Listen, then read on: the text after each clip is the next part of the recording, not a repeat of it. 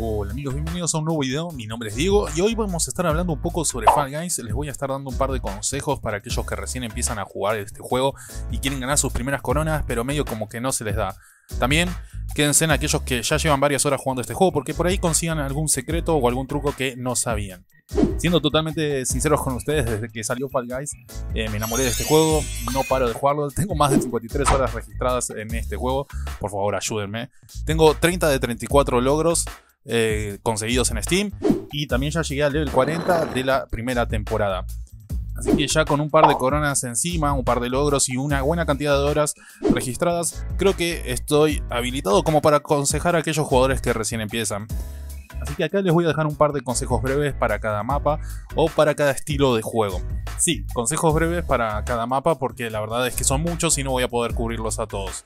Así que sin perder más tiempo, empezamos. Primero que nada, para conseguir coronas necesitamos pasar 5 pruebas, o menos pruebas si es que nuestros contrincantes pierden enseguida. Pero en líneas generales siempre son 5 pruebas. Las 5 pruebas se dividen generalmente en 4 modos. Tenemos por un lado carreras, donde tenemos 9 mapas. Tenemos modo survival, donde tenemos 5 mapas. Tenemos el modo de juego en equipo, donde tenemos 7 mapas. Y por último tenemos el modo Final Stage, que vendrían a ser cuatro tipos de mapas diferentes. Primero voy a tratar de cubrir en líneas generales el modo carrera, dar unos consejos en general para todos los mapas y dar un consejo puntual sobre cada mapa. Mi consejo número uno en el modo carrera es simplemente mantener la marcha, alejarse de las multitudes, porque por lo general las multitudes suelen saltar a algunos personajes y esos personajes nos pueden tocar a nosotros y desbalancearnos o hacernos caer por algún precipicio. Mm, lo que no tenemos que perder es el ritmo, es decir, ir constantemente. Las carreras generalmente son las primeras pruebas, así que los clasificados son muchos, no perder la paciencia. Si hay que hacer un poco el camino largo, lo hacemos, pero al menos somos constantes y vamos a llegar. Voy a dar un consejo en cada mapa. Primero tenemos a DC Haze. En este mapa eh, lo único que les aconsejo es que sigan las líneas de las flechas en los discos, no intenten de luchar contra ellos, déjense llevar por esta fuerza y salten a la siguiente plataforma. Es bastante sencillo. Y sobre el final presten atención que existe un salto que gente siempre se lo come y se cae. Siguiente mapa, Dash. En este mapa mi consejo es no ser la persona que golpea las puertas. Simplemente esperar de atrás, ir viendo qué puertas se abren y seguir con eh, nuestro ritmo sin frenar. ¿sí? Otro consejo que doy es si a la hora de atravesar la puerta no es un salto muy seguro porque hay demasiada gente, simplemente saltar hacia adelante es mi consejo para que eh, nos empujen en todo caso hacia adentro. ¿no? Este, pero es eso, técnicamente, dejar que otros se golpeen la cabeza, no importa ser primero, simplemente lo que importa es clasificar a la siguiente prueba. Recuerden, nuestra meta es ganar coronas, no salir primero. En el mapa Fruits Shoot lo que aconsejo es ir por las bandas derechas o izquierdas y cubrirse con esos pequeños triángulos eh, que generalmente nos sirven como cobertura de las frutas. Nunca ir por el centro, pero el centro es muy difícil. Eh, generalmente viene un tronco y te puede llevar hasta el final. O sea, es en línea recta, obviamente vas a llegar antes, pero si vas por los costados es lento pero seguro. Gate Crash, la verdad este mapa no tiene mucha magia, solo dos consejos. Al principio, si salís en la primera línea, en el medio, lo que te aconsejo es que corras y justo antes de llegar a la primera puerta saltes. Porque esa puerta, si bien está al principio eh, abierta, cuando llegas corriendo se cierra. Así que ni bien estás por llegar, saltar. Y el otro consejo es en la parte final. Mucha gente suele fallar en esta parte. No es nada del otro mundo.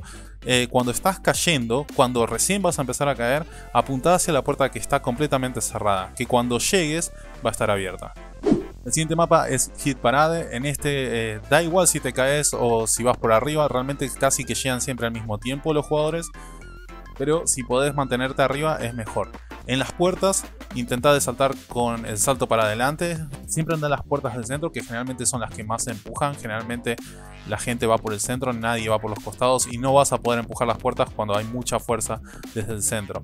Una vez que pasas la parte esa de las bolas que van de izquierda a derecha, lo que aconsejo es simplemente ir o por la izquierda o por la derecha, jamás por el centro.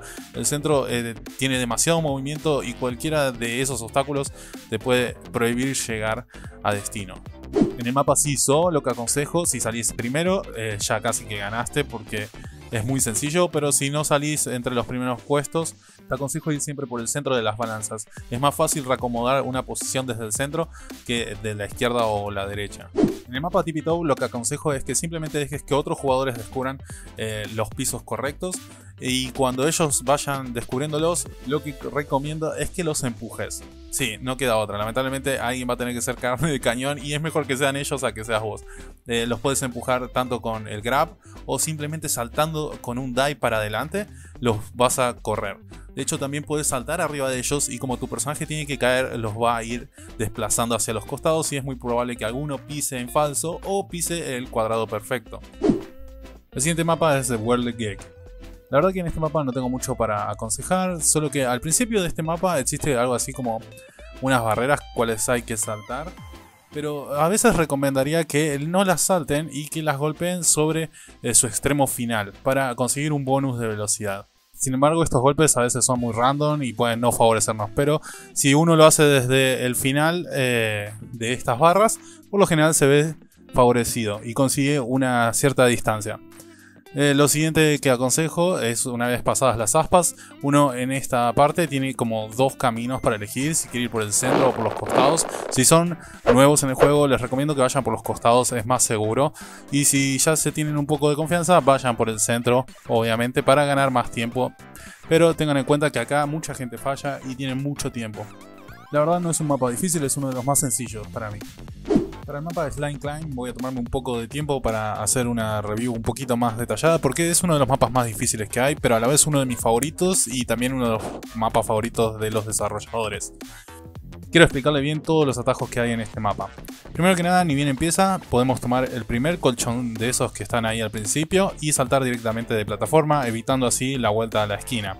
En el segundo piso esquivamos las bolas esas que están rodando hacia nosotros. Eh, podemos tomar este atajo. Luego en el tercer piso les recomiendo que empiecen por esta banda, pero bien cerca de la pared para poder corregir cualquier error. Y en estas bandas también podemos ahorrarnos también esa esquina saltando desde este punto. Luego tenemos el cuarto piso, donde en línea recta podemos avanzar por el jabón sin que nos toque ningún tipo de martillo. No es para nada difícil. Luego acá están timeados, pueden hacer dos seguidos o tres, yo recomiendo que hagan de a dos.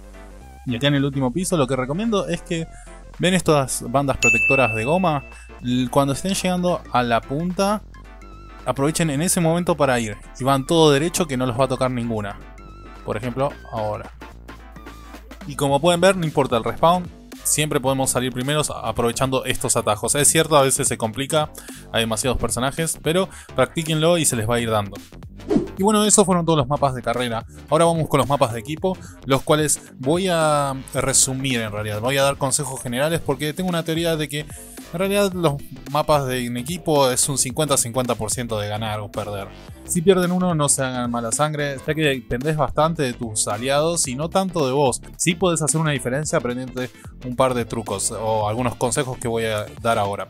Por ejemplo, en el minijuego de fútbol lo que podemos hacer es, una vez que alguien cometió un gol, esperar en la mitad de cancha, por el respawn de la pelota, saltar cuando vemos la sombra y golpear en dirección al arco. Es muy simple, así he hecho miles de goles, es bastante sencillo. A veces se puede complicar porque el otro team sabe sobre esta jugada y te intenta deconterear o te agarran y es bastante molesto. Otro consejo es en la cancha de fútbol, si te hacen un gol o vos haces un gol, para no ir hasta la mitad de cancha, directamente podés tirarte en el arco y respawnearse en mitad de cancha para poder hacer ese tiro de respawn bastante fácil. Otra cosa, en los juegos de equipo de más de dos equipos, por ejemplo tres o cuatro equipos, en esos recomiendo que enfoques todo tu plan en vencer a un solo equipo, al equipo que peor le está yendo. Por ejemplo, en el juego de los huevos, intenta robarle huevos al equipo que menos tiene. No te enfoques en el equipo que más huevos tiene, porque por algo los tiene. Así que simplemente enfócate en uno de esos equipos, recuerda que la meta es clasificar y asegúrate de que uno de esos equipos no clasifique, que no sea el tuyo, obviamente. Ok, finalmente llegamos a los mapas survival, mis favoritos en el juego, eh, porque uno depende de sí mismo. Eh, empecemos con Jump Club. En este mapa la verdad tampoco, no hay mucha magia, podemos optar por seguir la barra verde. La gracia simplemente consta en que no se junten eh, las dos barras y no se empujen. Así que esto es una cuestión de timing. Un consejo que doy, no agarren gente. Eh, he visto mucha gente que agarra a otras personas y cuando viene la barra no están justo preparados para saltar y los termina llevando a ellos más que a las otras personas. Recuerden que cuando ustedes saltan se deshacen de ese agarre, así que no sirve de mucho. Mapa Rollout. Eh, este mapa aconsejo que se vayan para la izquierda o para la derecha, es decir, por las bandas, lo más lejos posible del centro. El centro se mueve mucho más rápido, en los costados hay un pase un poco más lento, así que aprovechen esto a su favor y esperen que simplemente otros jugadores menos expertos se caigan. También pueden forzar a los rivales y eh, empujarlos a ustedes, pero eso es un poco más complejo. De momento, opten por ir a las bandas y mantenerse seguros ahí. En el mapa Block Party existe un pequeño truco o un pequeño secreto que algunos jugadores saben. Es eh, que simplemente eh, uno se puede subir a las paredes de la izquierda y la derecha. Si están en party, pídanle a un amigo que les haga piecito, saltan sobre él y pueden saltar a esta pared. Pero si no tienen amigos, como es en mi caso en este gameplay, lo primero que hice fue mirar a la izquierda y a la derecha y chequear que mis contrincantes, si alguno estaba cerca de la pared, porque sabía que alguien lo iba a tratar de hacer. Y no me equivoqué. Un equipo intentó hacer esto y yo aproveché esto y me terminaron ayudando a mí por lo que simplemente tuve que esperar hasta que este mapa se termine. Pero siendo sincero, generalmente esto no suele pasar. Mi consejo es que vayan adelante de todo, de donde vienen los bloques. ¿Por qué? Eh, si ustedes se acercan al borde, tengan cuidado en no irse para adelante, tienen menos posibilidades de que otra persona que falló un bloque los empuje a ustedes al abismo, por así decir. Y además tienen más tiempo de reacción para poder arreglar el bloque. Pueden prever cómo viene la siguiente oleada. En fin, vayan adelante de todo y van a ver la diferencia que existe. Perfect Match. En este tenemos que eh, matchar las frutas que están pidiendo en el televisor ese o en la pantalla y eh, quedarnos en esas plataformas correctas. La verdad que esto no hay mucho secreto, mucha gente opta por irse a las esquinas o al principio de una línea y memorizarse las frutas en una sola línea, por ejemplo manzana, banana, sandía, cereza. Banana, manzana, sandía, cereza y así. Mm, yo opto por ir al medio porque generalmente en la última ronda lo que conviene es estar en el medio, a mi forma de ver, porque a veces solo son dos o tres plataformas y no hay mucho espacio para mucha gente. Estando en el centro tengo más posibilidades eh, de eh, arreglar la situación. Puedo estar más cerca a cualquier plataforma que estando en una esquina. Imagínense que la fruta que ustedes están buscando está en la otra esquina opuesta a la que ustedes están. Podrían quedarse afuera. En el mapa Tail Tag, la verdad no hay mucho secreto tampoco. Eh, lo que les pido acá en este mapa es que tengan calma y que usen mucho su mira periférica, que observen a otros jugadores. Si ustedes tienen cola, eh, quédense tranquilos, no estén corriendo por ahí. Es como cuando activas el instinto de un perro. Eh, al correr. Es lo peor que puedes hacer. Mucha gente empieza a seguirte. Creo que lo mejor es quedarte quieto y recién cuando alguien se da cuenta que vos tenés una cola, empezar a correr en la dirección opuesta a ese jugador. Intenten de previsualizar el movimiento de sus rivales. Cuando alguien está corriendo, por lo general no está muy atento a todos los movimientos que hay. Aprovechen esto, eh, úsenlo en su favor. Pero sin lugar a dudas, no sigan a alguien eh, por atrás, simplemente intenten de interceptarlo, porque tengan en cuenta que todos los jugadores tienen la misma velocidad y jamás lo van a agarrar si lo siguen corriendo en línea recta. Por último, llegamos a los mapas de la gran final, donde muchos jugadores se ponen nerviosos y no saben mucho qué hacer, porque, seamos sinceros, para algunos puede ser la primera vez que llegan a estos mapas. Tienen cuatro mapas, el primero es Fall Mountain, en este mapa, la verdad, lo que yo recomiendo es que vayan todo por la izquierda, es una recomendación eh, propia, la verdad existen muchas posibilidades, pueden prestar atención a las bolas que vienen cayendo desde más adelante, pero mi clave siempre es ir de la izquierda porque facilito cualquier tipo de puerta. Eh, es cierto que algunas puertas si las golpean las pelotas te dan un bonus de velocidad, pero a la vez también es muy difícil y es muy random, así que prefiero hacer una carrera eh, recta, todo por la izquierda y sabiendo que si una bola viene por la pared, simplemente me muevo a la derecha y vuelvo a la izquierda. Ese es mi consejo personal. Luego tenemos el mapa Hexagon, uno de mis favoritos, una de las finales más difíciles que hay, pero aún así se puede masterear. Hay dos posibilidades. Una es simplemente correr como un maníaco y ir destruyendo todos los hexágonos y complicarle la vida a cualquier persona. Y la otra es simplemente ir saltando de un hexágono a otro hexágono. Generalmente los ganadores son los que optan por la segunda opción. De hecho, acá les muestro un gameplay mío jugando de una manera y jugando de la otra.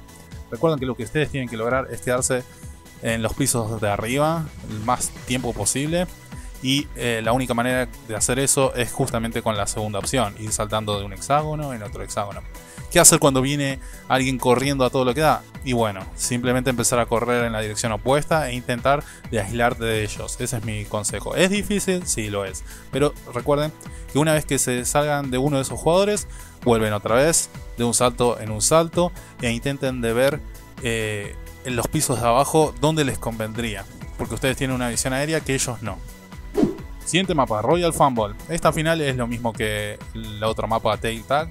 Eh, lo mismo, intenten de previsualizar los movimientos de su rival, no lo sigan directamente y también aprovechen que al principio, si son pocos, su rival no sabe exactamente dónde spawnean, como por ejemplo acá hice yo, que me escondí y gané unos segundos valiosos en esta partida. Y por último, el mapa Jump Showdown. Eh, acá es muy simple, tenés que esquivar esas barras eh, que son en este caso del mismo color para confundir a los jugadores, ambas son eh, como doradas y el piso, en algunos segmentos del piso van cayendo en esta ocasión. Así que presten mucha atención a eso, intenten de no aislarse, simplemente al final va a quedar un solo segmento de piso. Ah, así que aprovechen y vayan al correcto, nunca se queden aislados. Lo mismo que en el otro mapa que les decía, no agarren a la gente, esto simplemente los complica a ustedes. Eh, les recomiendo que presten mucha, mucha atención a las barras y evitar eh, que se junten, nada más. Y bueno amigos, eso es todo, espero que les haya gustado el video. Si se quedaron hasta acá, muchísimas gracias, realmente me costó mucho hacer este video. Eh, les pediría que me dejen un comentario para ustedes cuál es su mapa favorito, cuál les resulta más fácil, cuál les resulta más difícil. Déjenmelo abajo en los comentarios, los voy a estar leyendo. También les dejo acá mi Twitch para que me vayan a ver cuando esté en vivo. generalmente streameo a la noche, los fines de semana. También les recomiendo que me sigan en YouTube, que voy a estar subiendo cosas sobre este juego de vida. Desde ya muchas gracias y nos vemos en el próximo video. Adiós.